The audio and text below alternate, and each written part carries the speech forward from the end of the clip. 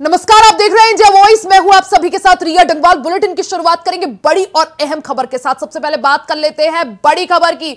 मिर्जापुर सड़क हादसे का सीएम योगी आदित्यनाथ ने संज्ञान लिया है। सीएम ने मृतकों के परिजनों के प्रति संवेदना व्यक्त की है। अफसरों को तुरंत मौके पर पहुँचने के निर्देश दिए हैं। राहत बचाव कार्य में तेज़ी लाने के भी सीएम योगी आदित्यनाथ ने निर्देश दिए हैं। सीएम योगी ने साफ़ तौर पर अधिकारियों को कहा है कि घायलों का समुचित उपचार किया जाए। बता दें कि मिर्जापुर सड़क हादसे में अब तक 10 लोगों की मौत हो गई है। वहीं कई लोग घायल बताए जा रहे हैं। तो मिर्जापुर सड़क हादसे पर सीएम योगी आदित्यनाथ ने संज्ञान लिया है। सीएम योगी आदित्यनाथ ने राहत बचाव कार्य में तेज़ी लाने के अधिकारियों को निर्देश दिए हैं। साथ ही घायलों का समुचित उपचार करने के भी निर्देश दिए हैं। तो मिर्जापुर में एक ट्रक ने ट्रैक्टर को पीछे से टक्कर मार दी थी। ट्रैक्टर में सवार मजदूरों में से इस हादसे की वजह से 10 लोगों की मौत हो गई, वहीं कई लोग घायल बताए जा रहे हैं। तो ये भीषण हादसा, देर रात ये हादसा हुआ। तस्वीरें आप देख सकते हैं कितना भीषण ये हादसा कि मिर्जापुर हाईवे पर एक ट्रक ने ट्रैक्टर को पीछे से टक्कर मार दी। ट्रैक्टर पर सवार मजदूरों की मौत हो गई है। दस लोगों की इस हादसे में अब तक मौत हो गई है। हम लोगों को सूचना मिली कि मिर्ज़ा मुराद कछवा बॉर्डर पर जीटी रोड पे एक एक्सीडेंट हुआ है, जिसमें कि एक ट्रैक्टर, जिसमें तेरह लोग सवार थे, जो कि जनपद भदोही से जा रहा था और बनारस की तरफ़ जा रहा था। उसको पीछे से एक ट्रक ने टक्कर मारी है, जो कि अनियंत्रित हो चुका था। तत्काल इस सूचना पे हम सभी लोग वहाँ मौके पे पहुँचे और वहाँ पर जो भी बचाव का कार्य शुरू किया गया, उन तेरह लोगों में से दस लोगों की मृत्यु हो गई और तीन जो घायल हुए, उनको तत्काल इलाज के लिए बी भिजवा दिया गया है। ये सभी तेरह लोग जनपद और भदोही में काम करते थे लेबर का भलाई का काम करके वापस अपने गाँव, जो कि मिर्ज़ा मुराद में पड़ता है बनारस में, वहाँ लौट लौट रहे थे।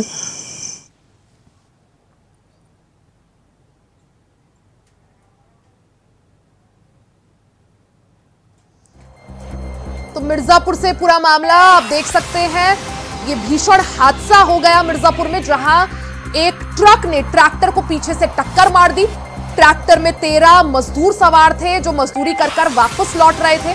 वहीं इस हादसे की वजह से 10 मजदूरों की मौके पर ही मौत हो गई। वहीं तीन मजदूर गंभीर रूप से घायल हैं, जिन्हें अस्पताल में इलाज के लिए भर्ती कराया गया है। हादसे के बाद मौके पर अफरा तफरी मच गई। पुलिस प्रशासन मौके पर पहुँचा। वहीं सीएम योगी आदित्यनाथ ने भी मामले का संज्ञान लिया है। राहत बचाव कार्य में तेज़ी लाने के अधिकारियों को निर्देश दिए हैं। साथ ही घायलों के समुचित उपचार के भी आदेश दिए हैं। आप देख सकते हैं किस तरह से ये बीती रात की तस्वीरें जब ये हादसा हुआ था। मौके पर भारी संख्या में पुलिस बल तैनात था। लोगों को रेस्क्यू वहाँ से किया गया। तीन लोग, यानी तीन मजदूर अभी घायल है जिनका इलाज चल रहा है। वहीं दस मजदूरों की मौके पर ही मौत हो गई। वहीं दूसरी तरफ़ प्रधानमंत्री नरेंद्र मोदी ने भी मामले का संज्ञान लिया है। उन्होंने मृतकों के लिए मुआवजे का ऐलान किया है। मृतकों के लिए दो दो लाख रुपए मुआवजे का ऐलान केंद्र की तरफ़ से किया गया है। ज़्यादा जानकारी के लिए सीधा रुक कर लेते हैं संवाददाता कमलेश का। कमलेश, जिस तरह से यह हादसा हुआ, दस मजदूरों की मौत हो गई, तीन मजदूर अभी गंभीर रूप से घायल है। क्या कुछ जानकारी मिल पा रही है? क्या कुछ अपडेट आपके पास? देखिए रिया जी, बता दूँ कि कल रात में जो ये सब भदोही काम लगाए हुए तो वहाँ सेटरिंग था, जो कि मकान की सेटरिंग हो रही थी। फिर इसके बाद इनको काम पूरा करने के लिए बनारस जाना हुआ था जब वाराणसी के लिए। तो ये सब काम खत्म करना, नवरात्रि का समय चल चला रात बहुत दिन भर चहल पहल सड़कों पर भी दिखाई दे रहा तो सोचा कि रात में हम लोग निकल लेते हैं और सुबह हम लोग का फिर दूसरे काम पर लगना रहेगा। तो तेरह लोग जो ट्रैक्टर और ट्रैक्टर के टाली में बैठकर भदोही से निकलते हैं, रवाना होते हैं बनारस काम करने के लिए। तो मिर्ज़ा मुराद पड़ता है। मिर्ज़ा मुराद के पास जो है कछवा थाना के अंतर्गत हाईवे पर जा रहे थे जैसे कि कटवा थाना क्षेत्र के पास पहुँचे हाईवे पर, जो ट्रक इतने तेज़ी से, गति रफ्तार से आई को नियंत्रित होते हुए और ट्रैक्टर को धक्का मारने के बाद जो है डिवाइडर तक तोड़ते हुए ट्रक दूसरी तरफ़ भी गिर गई। बता दें कि जिसमें तेरह लोग सवार थे, मौके पर इतनी बेरहमी से दस लोगों की मौत हो चुकी है कि बता दे दिया कि जो है हादसे से पूरे मिर्जापुर में खलबली मच गई है। स्थानीय लोगों ने रात में एक बजे जिस तरह से आवाज़ सुनी कि इतनी तेज़ी से क्या बोला है, जैसे बम की आवाज़ आती है तो बाहर निकला तो इतनी भीषण एक्सीडेंट हुआ था तो उसके बाद तुरंत कछुआ थाने पर फ़ोन करते कछुआ थाने फ़ोन करने के बाद मिर्जापुर के जो एस पी अभिनंदन है संज्ञान में लेते पुलिस फोर्स के साथ पहुँचते हैं। तो जहाँ पर तीन लोग जो है, जिनकी मृत्यु नहीं हो पाए तो उन लोगों को तत्काल बी एच वाराणसी उनकी बिल्कुल कमलेश। काफ़ी दुखद यह हादसा मौके पर 10 मजदूरों की मौत हो गई है। वहीं तीन मजदूर जो है गंभीर रूप से घायल है जिनका इलाज चल रहा है। कमलेश आप नज़र बनाए रखें। बहुत बहुत शुक्रिया जानकारी के लिए। वहीं खबरों में आगे बढ़ते हैं। बात अमेठी की कर लेते हैं। चार लोगों की हत्या होने से अमेठी दहल उठा है। ज़िले में चार लोगों की हत्या का मामला सामने आया है। सूचना पर पहुँची फॉरेंसिक टीम ने जाँच शुरू कर दी है। फॉरेंसिक टीम ने घटनास्थल से साक्ष्य जुटाए हैं। टीम सभी साक्ष्य खंगाल कर अपने साथ ले गई है। पुलिस के एडीजी जोन लखनऊ आईजी ने भी निरीक्षण किया। पुलिस ने दो बच्ची और दंपति का शव कब्जे में ले लिया है। तो अमेठी से ये दिल दहला देने वाला मामला, जहाँ एक ही परिवार के चार लोगों पर कुछ बदमाश अंधाधुंध फायरिंग कर देते हैं। टीचर समेत उसकी पत्नी और दो मासूम बच्चियाँ। तो एक ही परिवार के चार लोगों की अंधाधुन फायरिंग से मौत हो जाती है। कुछ बदमाश उनके घर पहुँचते हैं और अंधाधुंध फायरिंग करते हैं। आठ या नौ राउंड फायरिंग के बाद पूरे परिवार की इस गोली कांड में मौत हो जाती है। चार लोगों की मौत से पूरा अमेठी दहल गया है। सूचना पर पहुँची फॉरेंसिक टीम और पुलिस मौके पर पहुँची, जिसके बाद फॉरेंसिक टीम ने घटनास्थल से सारे सबूत जो है वो जुटाए। पुलिस के एडीजी जोन लखनऊ और आईजी ने भी घटनास्थल पहुँच के निरीक्षण किया है। पुलिस ने दो बच्ची और दंपति के शव को कब्जे में ले लिया है। टीम सभी पहलुओं पर जाँच के लिए रायबरेली रवाना हो गई, क्योंकि ये जो परिवार है, ये रायबरेली का ही रहने वाला है। काम के सिलसिले में अमेठी रहता था। इस पूरे मामले में एक ही परिवार के चार लोगों की मौत हो गई है, जिसमें पति पत्नी समेत दो बच्चे भी हैं। का निरीक्षण और इस तरह से किया गया है। हमारी जो फॉरेंसिक की टीम है, उसने भी पहुँच करके घटनास्थल को हर तरह से साक्ष्य संकलित किए हैं। घटनास्थल के बारीकी से विश्लेषण करने पर बहुत स्पष्ट है कि कोई फोर्सफुल एंट्री नहीं है। इकलौता रोड जिससे कि लोग आए हैं, वो दरवाज़ा है और या तो वो खुला है या खोला गया है। और जो स्थितियाँ, जो और साक्ष्य मिले हैं, वो बहुत महत्वपूर्ण साक्ष्य मिले हैं। हमारी चार टीम्स इसमें लगी हुई हैं। जिस महत्वपूर्ण साक्ष्य को हम लोगों ने अब तक संकलित किया है, उस पर बहुत तो अमेठी में सरकारी टीचर के पूरे परिवार की हत्या का ये मामला सामने आया है, जिसमें सरकारी टीचर, उसकी पत्नी और दो मासूम बच्चों को मौत के घाट बदमाशों ने उतार दिया। गुरुवार शाम का ये पूरा मामला है, जिसमें बदमाशों ने घर में घुसकर वारदात को अंजाम दिया। सरकारी टीचर, उसकी पत्नी और पाँच और डेढ़ साल की दो मासूम बच्चियाँ। कई राउंड फायरिंग हुई, जिसमें एक ही परिवार के इन चारों लोगों की मौत हो गई है। अमेठी से दिल दहला देने वाला मामला और इस मामले से ये हत्याकांड से पूरा का पूरा अमेठी दहल उठा है।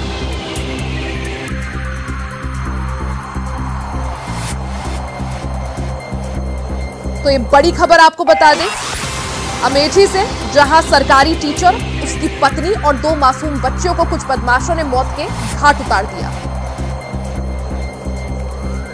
ज़्यादा जानकारी के लिए सीधा रुख कर लेते हैं मोहम्मद आसिफ का। मोहम्मद आसिफ, अमेठी को आज इस हत्याकांड ने दहला कर रख दिया है। बीते दिन शाम को एक सरकारी टीचर, उसकी पत्नी और दो मासूम बच्चियों को गोली से छन्नी कर देते हैं कुछ बदमाश। किस तरह से इस घटनाकांड को अंजाम दिया गया और मुख्य वजह क्या निकलकर सामने आ रही है? क्या मोटिव था हत्याकांड के पीछे? यह मामला पूरा अमेठी ज़िले के सूरतनगंज थाना क्षेत्र का है। जहाँ पर रायबरेली ज़िले के रहने वाले शिक्षक सुनील और उनका पूरा परिवार किराए के मकान में। कल देर शाम कुछ बदमाश पहुँचते हैं, जहाँ पर ताबड़तोड़ गोलियाँ चलाते हैं, जिसमें शिक्षक सुनील, उसकी पत्नी और दो बच्चों की मौत हो जाती है और यह वारदात पूरी तरह से फिल्मी स्टाइल में अंजाम दी गई। वारदात को अंजाम देने के बाद बड़े आसानी से जो बदमाश थे हत्यारे थे फरार होने में कामयाब हो गए।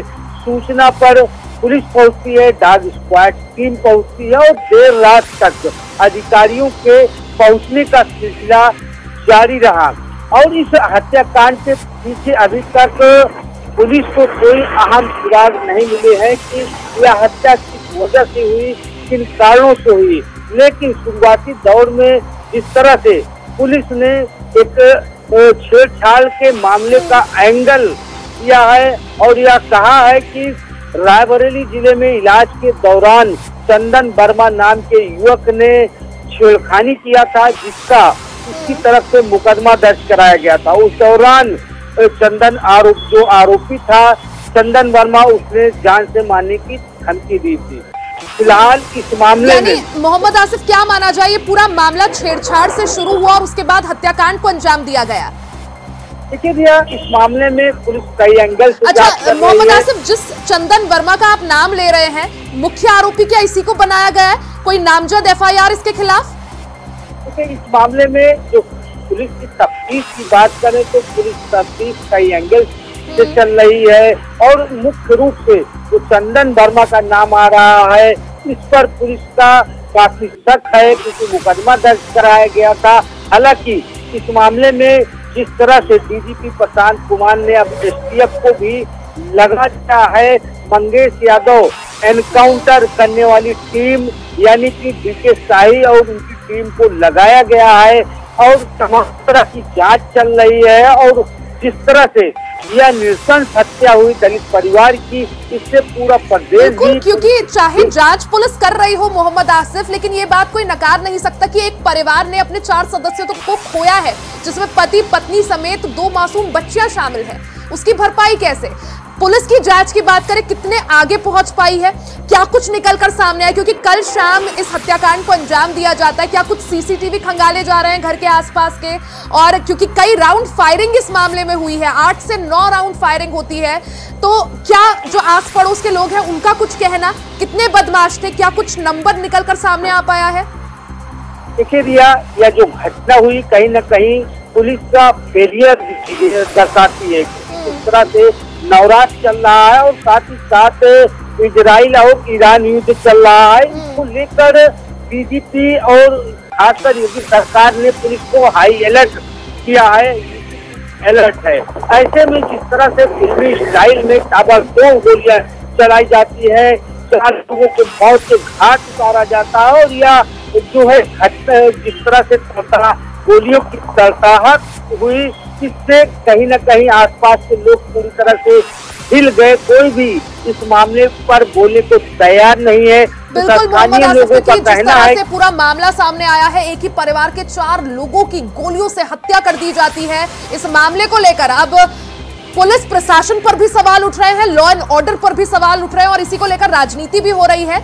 यहाँ रुकेंगे एक छोटे से ब्रेक ले आप बने रहिएगा आपके पास वापस आऊँगे मोहम्मद आसिफ। यहाँ रुकेंगे एक छोटे से ब्रेक ले ब्रेक के बाद एक बार फिर से आप सभी का स्वागत है। तो अमेठी के मामले को लेकर, यानी अमेठी हत्याकांड को लेकर अब सियासत भी पूरी तरह से गर्मा गई है। सपा प्रमुख अखिलेश यादव ने अमेठी ज़िले में एक ही परिवार के चार लोगों की हत्या के मामले में पोस्ट किया है। अखिलेश यादव ने हत्या को लेकर कानून व्यवस्था पर सवाल खड़े किए हैं। साथ ही इशारों इशारों में कानून व्यवस्था को बदहाल भी बता दिया है। तो अमेठी हत्याकांड को लेकर अब सवाल उठने शुरू हो गए हैं। अखिलेश यादव ने इस मामले को लेकर योगी सरकार पर निशाना साधा है।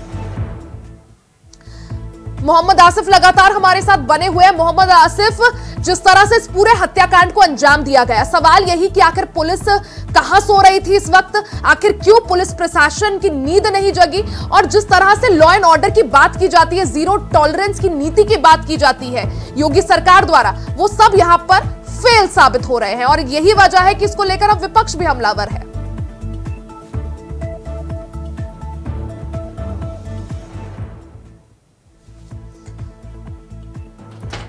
आसिफ हमारे साथ अभी नहीं है। आसिफ का रुख करेंगे थोड़ी देर में। वहीं आपको बता दें कि अब इस मामले को लेकर राजनीति भी पूरी तरह से गर्मा गई है। जिस तरह से अमेठी का यह पूरा मामला सामने आया, जहाँ एक ही परिवार के चार लोगों की हत्या कर दी गई गोली कांड को अंजाम दिया गया। वहीं इस मामले को लेकर अब अखिलेश यादव ने भी सवाल खड़े किए हैं। अखिलेश यादव ने तस्वीर पोस्ट कर लिखा है कि कोई है, कहीं है और सवाल खड़े करिए करे हैं। मोहम्मद आसिफ हमारे साथ जुड़ गए हैं। मोहम्मद आसिफ जिस तरह से अमेठी हत्याकांड को लेकर अब सवाल यही उठ रहे हैं कि एक तरफ़ जहाँ योगी सरकार ज़ीरो टॉलरेंस की नीति की बात करते हैं लॉ एंड ऑर्डर की बात करते हैं वहीं धरातल पर तस्वीरें कुछ और है और यही वजह है कि अब विपक्ष के निशाने पर है योगी सरकार। निश्चित तौर पर जो अमेठी ज़िले के सूरतनगंज थाना क्षेत्र में जो नृशंस हत्या हुई है चार लोगों की हत्या हुई है उससे कहीं न कहीं प्रदेश पूरी तरह से हिल गया है। अगर बात करें अब इस हत्याकांड को लेकर तो उस पर सियासत भी तेज हो चली है और योगी सरकार पर लगातार हमले ही भी बोले जा रहे हैं।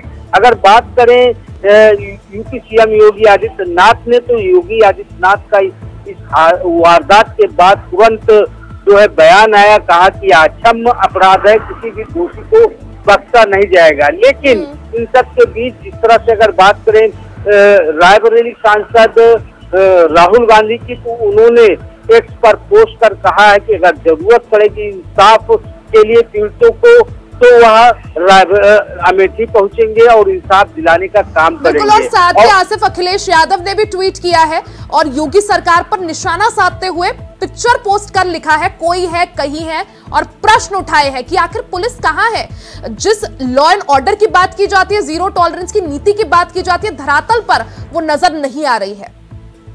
जी बिल्कुल लिया अगर सपा प्रमुख अखिलेश यादव की बात करें तो सपा प्रमुख अखिलेश यादव ने कानून व्यवस्था को लेकर बड़ा सवाल भी किया है इस पर पोस्ट कर जिस तरह से उन्होंने इशारों इशारों में यह कहने की कोशिश की है कि कानून व्यवस्था यूपी में पूरी तरह से ध्वस्त हो चुकी है अपराधी कुछ भी वारदात कर जो है बिल्कुल यानी अपराधियों में बिल्कुल भी कानून का डर नहीं है पुलिस का डर नहीं और यही वजह है कि अमेठी में इतना बड़ा हत्याकांड होता है एक ही परिवार के चार लोगों को मौत के घाट उतार दिया जाता है। हालाँकि मामले पर नज़र बनाए रखे मोहम्मद आसिफ। बहुत बहुत शुक्रिया जानकारी के लिए।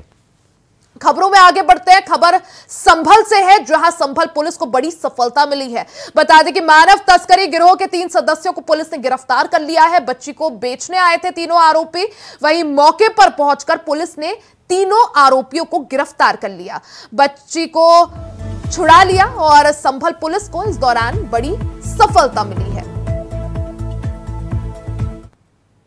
जनपद संभल के थाना बनियाठेर क्षेत्र में एक मुखबिर खास ने पुलिस को सूचना दी कि आ, कुछ लोग हैं जो मुरादाबाद से यहाँ पे बनियाठेर थाना क्षेत्र में आए हैं और एक बच्ची को साठ हज़ार रुपये में बेचने के लिए जगह जगह घूम घूम के प्रयास कर रहे हैं और बता रहे हैं कि इस बच्ची का जिस तरीके से उपयोग करना है उपयोग कर सकते हैं। यह बात सूचना पुलिस को मिलने पर तुरंत पुलिस थाना बनियाठेर क्षेत्र में जहाँ मुख्य खास ने बताया तो वहाँ पहुँची।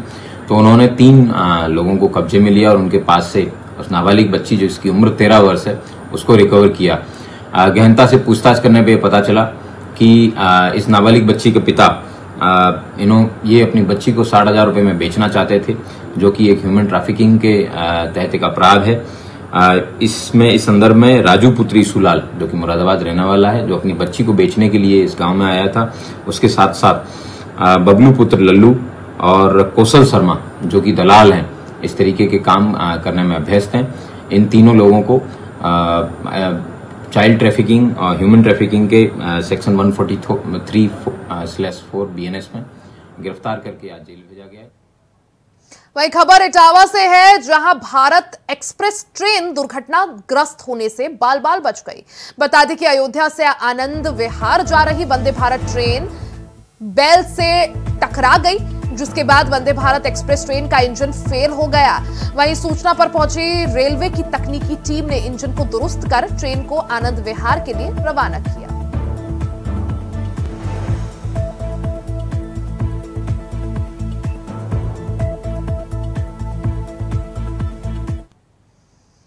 वहीं खबर बुलंदशहर से आपको बताते हैं, जहाँ बुलंदशहर में बड़ा सड़क हादसा हो गया। कैंटर पलटने से बड़ा हादसा, सड़कों की हालत बेहद खराब है। इस दौरान सड़कों की खराब हालत से यह हादसा हुआ है। कैंटर पलटने से बाल बाल बचा चालक बुलंदशहर के चिरघर बाईपास पर यह कैंटर पलट गया। सड़कों की बदहाल स्थिति की वजह से ये हादसा हुआ है। सड़कों की स्थिति की वजह से कई सड़क दुर्घटनाएँ होती रहती हैं। आए दिन वहीं बुलंदशहर से पूरा मामला, जहाँ सड़क की बदहाल व्यवस्था की वजह से, सड़क में गड्ढों की वजह से एक कैंटर पलट गया। हालाँकि कैंटर चालक बाल बाल इस हादसे से बच गया है।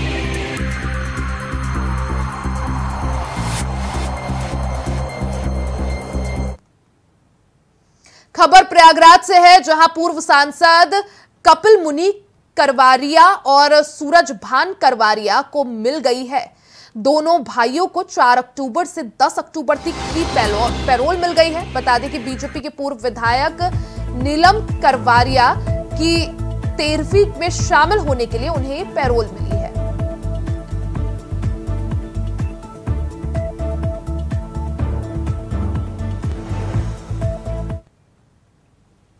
वहीं हरियाणा में भी गूंज रहा है। यूपी के मंगेश यादव एनकाउंटर का मामला। जी हाँ, बता दें कि सपा प्रमुख अखिलेश यादव ने मंगेश यादव एनकाउंटर को लेकर एक बार फिर से बीजेपी पर निशाना साधा है।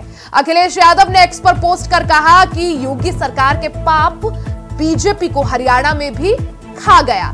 मंगेश के हत्यारे को तो देर सवेरे कानून सजा देगा, लेकिन हत्यारों को संरक्षण देने वाली भाजपा का पतन शुरू हो गया है।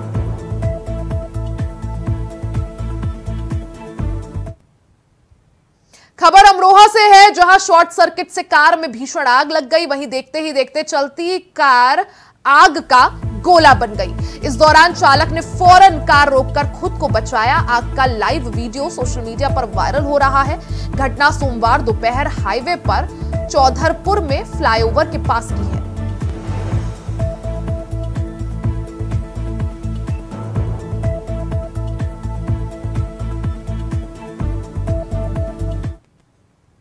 इसी के साथ बुलेटिन में फ़िलहाल के लिए सिर्फ़ इतना ही। खबरों का सिलसिला जारी रहेगा। बने रहे हमारे साथ।